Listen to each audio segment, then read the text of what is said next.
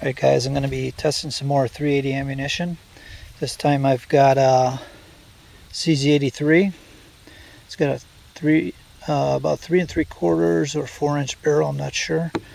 And the TCP, which I think they claim it is 2.8 inches. So I'm going to test these two guns with the same rounds.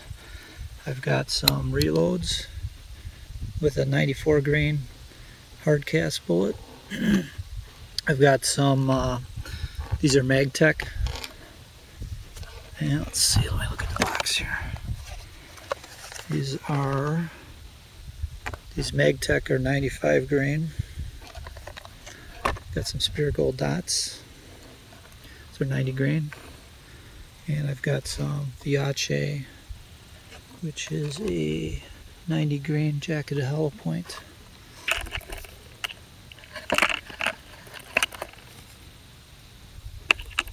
So I'm going to try all this ammunition in both guns and see what kind of difference I get the short and the long barrel. Okay, hopefully I can do this all without cutting.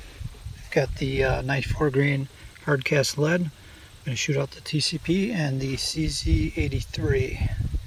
Do five rounds of each on the Chrony and see if there's a difference in the uh, velocity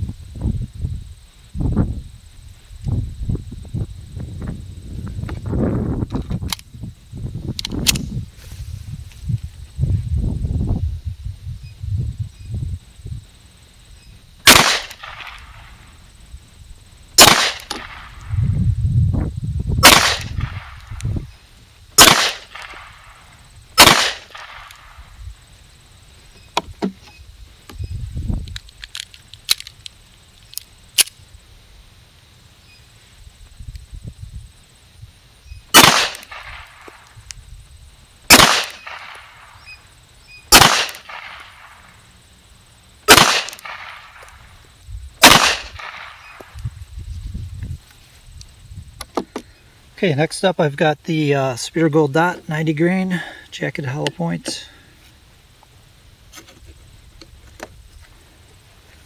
See all those Chrony?